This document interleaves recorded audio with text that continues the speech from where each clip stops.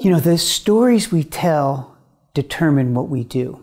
Stories like, I'm going to put a man on the moon, or stories of nonviolent protest.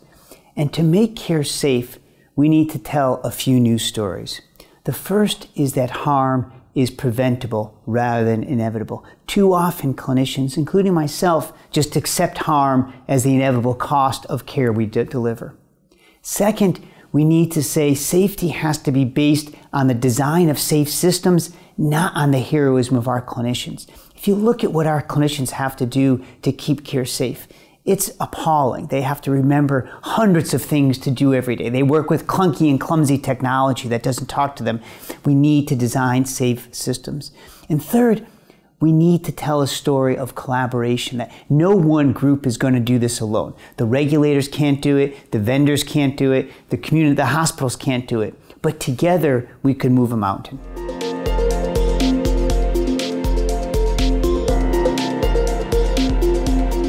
Well, I think we need forums like WISH that bring leaders together and number one, declare that what we have right now is unacceptable. You know, if you think about the magnitude of the patient safety problem, uh, we don't know how big it is, but some estimates have it perhaps up to the third leading cause of death. But in any other industry, if planes were crashing every day, airlines would shut down. They would all come together. They would do a systematic solution to fix the problem. We don't have that in, in healthcare. What we have is planes crashing every day, and we maybe have a paper checklist and say, try to remember this, or here's five checklists and try to remember that. We haven't come together to design a safe system, and we need to. And there's other industries that have.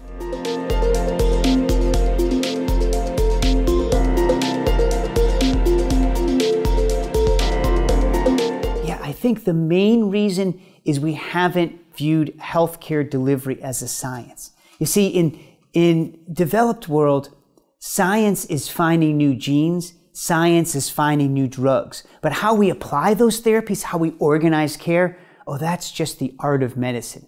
And we haven't brought that same discipline to how we organize. Now, the disciplines to do that aren't genetics or pharmacology, they're sociology and psychology and engineering and computer science. And we need to bring those all together to begin to design safer systems. One really concrete thing that the UK or the US could do is start setting up learning labs. Set up places that bring together those diverse scientists so they could design solutions together because no one discipline is going to solve this problem. Indeed, the solution will be found at the intersections of disciplines. But to get those disciplines to work together, you need to learn their language. You know, an ethnographer is not going to talk to an engineer unless they learn and respect each other's language. So creating labs for them to work in is absolutely key.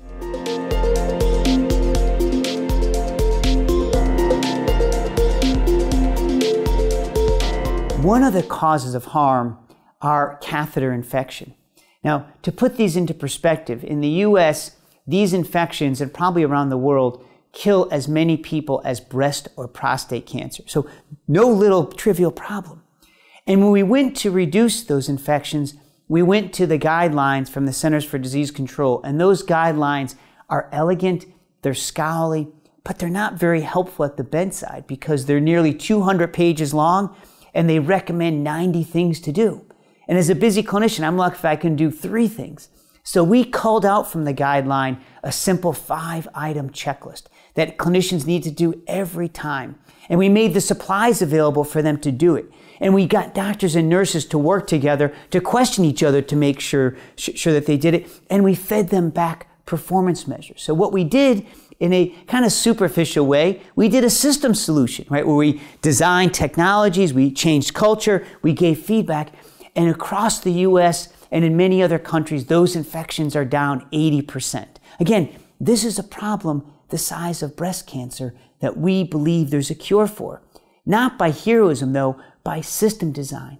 But the reality is, those infections are only one of dozens of harms patients suffer. And every harm has its own checklist and every checklist has five or 10 items, and every item may need to be done three or four times a day.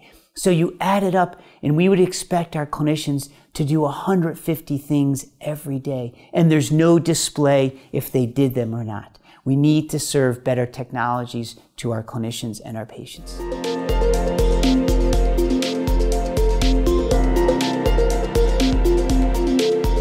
But WISH is absolutely critical because we need global forums that bring diverse disciplines and care settings together to collectively pool our wisdom to design solutions. What we've seen in so often is there is a solution out there. It just not be, it might not be invisible. And in other words, we have a really inefficient knowledge market that someone knows the information, but it just not, might not be there. And it may not be in healthcare. It may be in aviation or energy or the nuclear industry, but there's a kernel of truth. And what we need to do is call that out and see how it applies to other settings and then spread it.